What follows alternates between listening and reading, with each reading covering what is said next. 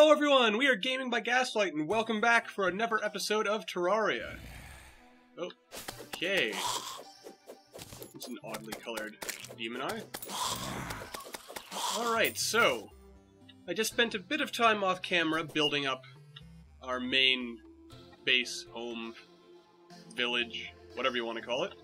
Uh, I won't be showing it off just yet, because it's not really finished.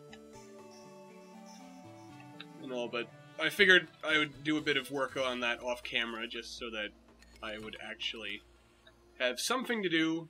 Uh, while not recording, since I've been rather excited to play, and I kind of don't want to end up with uh, too much of a backlog of just videos that are waiting to go live, since, uh, as I think I've sort of touched on before, I, I just don't like the idea, I guess, of having too many videos that are just sitting there um,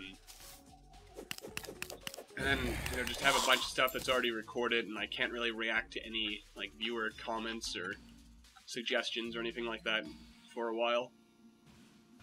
Also, uh, we're just collecting a couple of books and shelves here for eventual uh, furnishings and so forth, since we do want our home to look somewhat cultured. Hello there, Cursed Skull. Um, hello. Come on. Also, I think I spotted a new enemy uh, right before I started recording, something called a blazing wheel? I don't recall seeing anything like that in the dungeon before, so I'm assuming it's new. Also, while wandering around to get more marble, uh, there's actually another enemy in the marble biome.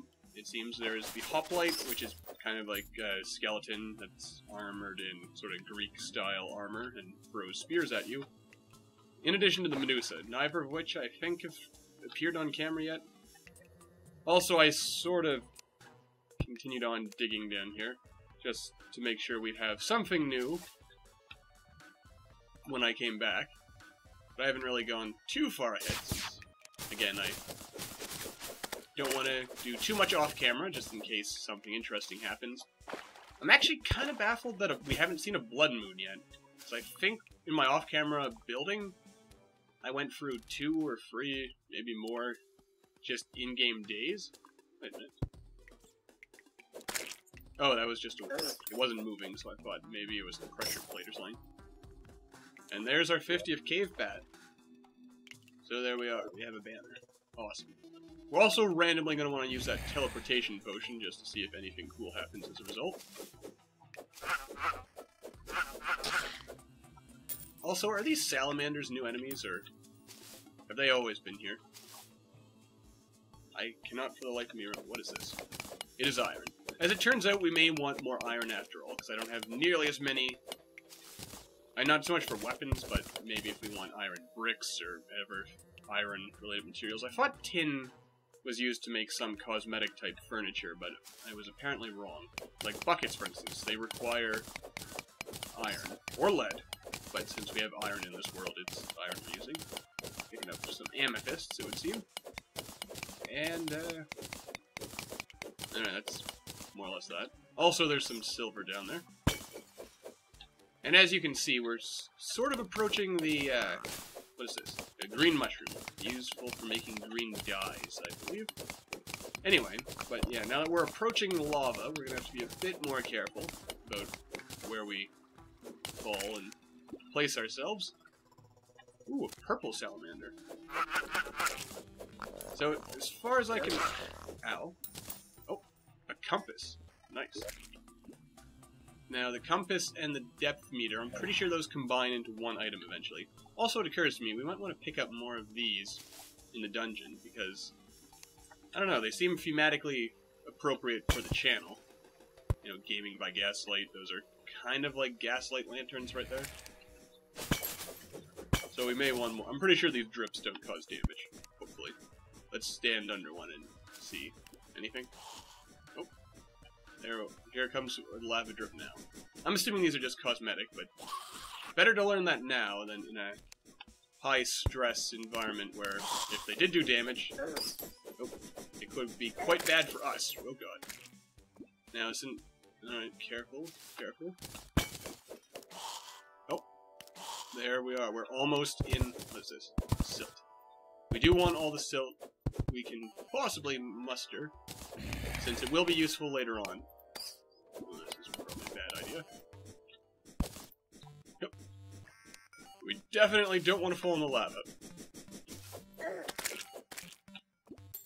Okay.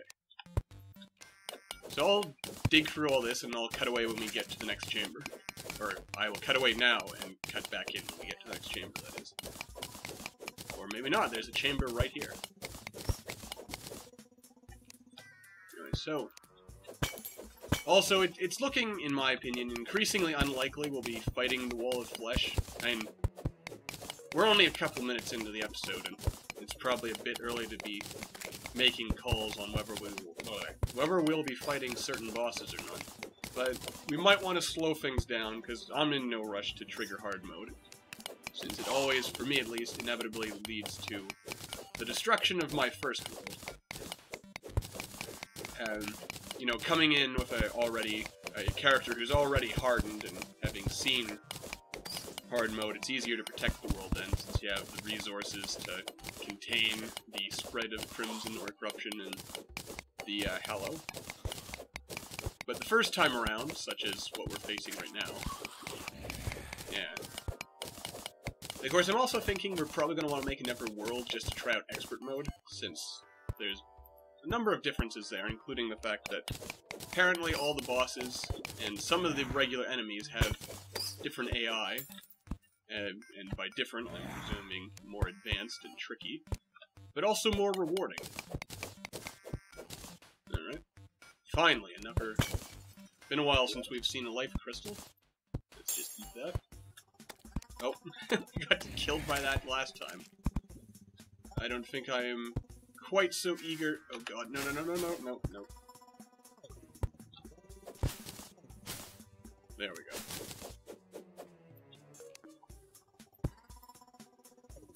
Okay. Now, how do we want to do this? Nope. There we are. Ooh. Those are some...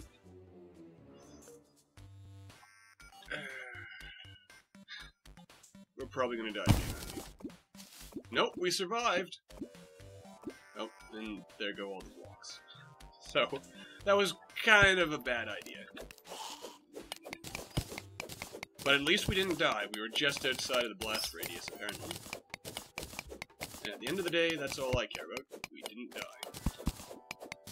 Alright, so... If we're not going to fight the Wall of Flesh right away, what are we going to do? I think the plan is we're just going to get to the Underworld. We'll probably try to grab a Voodoo Doll so we can fight the Wall of Flesh whenever we happen to be ready. Um, but we'll probably go back. We'll try to find the, uh, uh, what am, what am I trying to say? We'll try to find, I guess, the uh, honey bee's nest thing, mini biome, whatever you want to call it, and we'll go see if we can fight the queen bee. That's always a relatively easy fight. Also, let's take a quick look at the map here. Yeah, I really don't follow the whole elevator concept. I just kind of dig through the path of least resistance. Though I do wonder if it would be faster if I just built big elevator shafts going straight down. What? What? What was that? You guys did see that, right? Or some kind of like weird... Ooh. Oh god! Thank goodness we built that minecart, eh? Of course it occurs to me, I could harvest this track if I wanted. Um, here. Get. Oh, I forget how to get off this thing. No, that's one way. Alright, some more health. Because more health is better than less. You know, I really do kind of want to just harvest this track here, because I eventually want to build a track that runs between the dungeon entrance and our base, so that we have a high speed uh, method of traveling back and forth. Of course, that'll that sort of it's mine tracks are a lot of effort, and they sort of you out level them basically. I guess is the term to use pretty quickly. Since you you know you start getting wings as soon as you get into hard mode, and then you eventually get access to teleporters and stuff like that.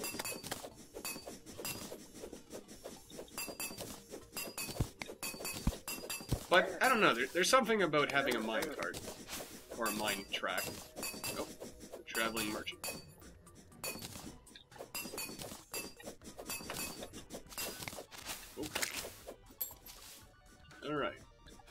Far do we really want to? Okay, come on. No, our money. Oh wait, it wasn't destroyed. Yeah. There we are. Okay. Yeah, I want to harvest this mine track. I mean, one iron bar makes 50 lengths of track, but as you can see, we've already got 50 bits a track right here, and we didn't really get very far, did it? Oh god, no, no! No. No, sir. You know, I, I actually just want to get out of here, is what I really want to do. More than anything else, so let's just mine through the silt and get the hell out of here.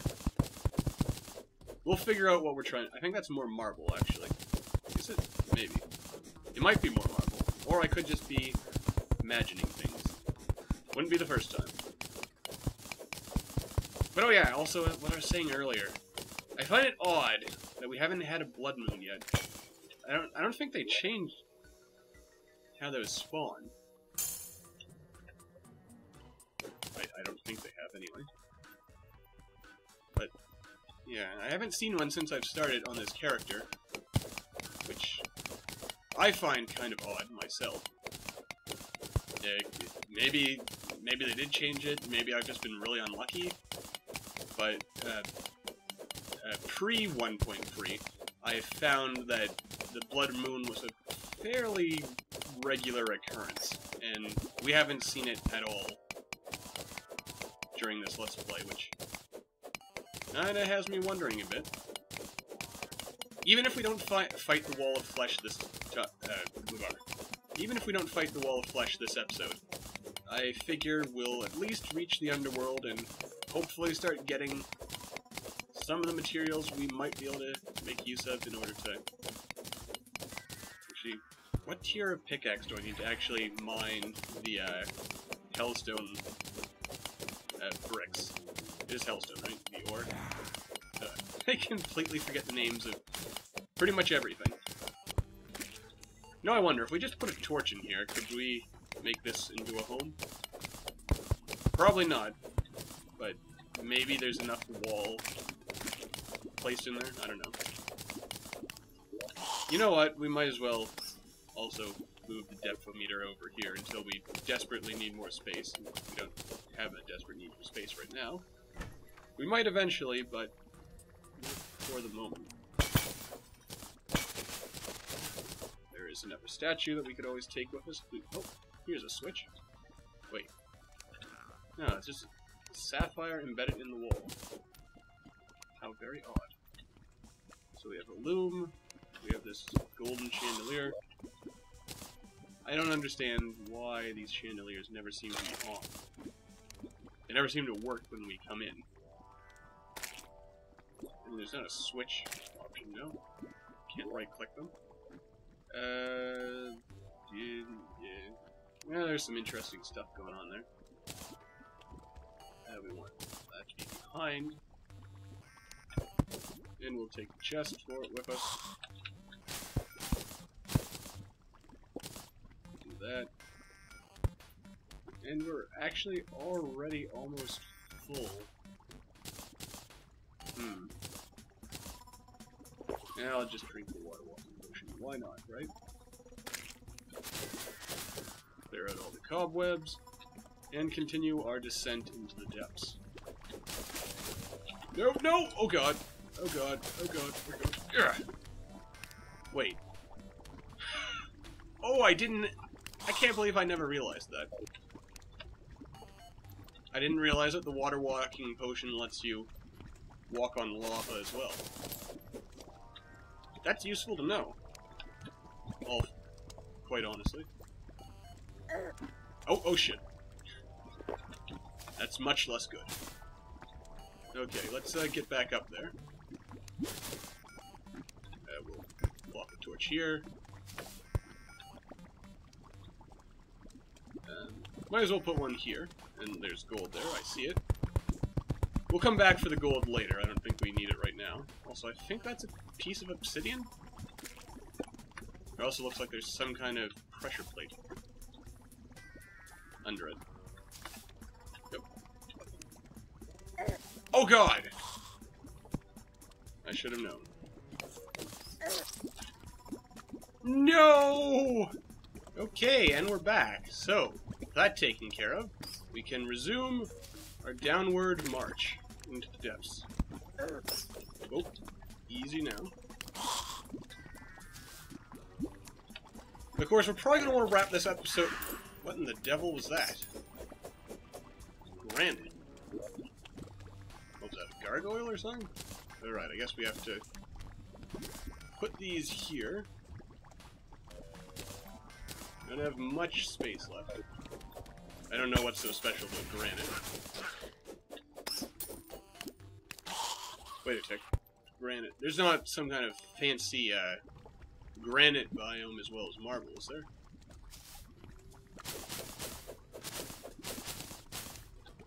Hmm. Okay. Well, it's going to be an interesting journey down to, uh, get... Leave me alone.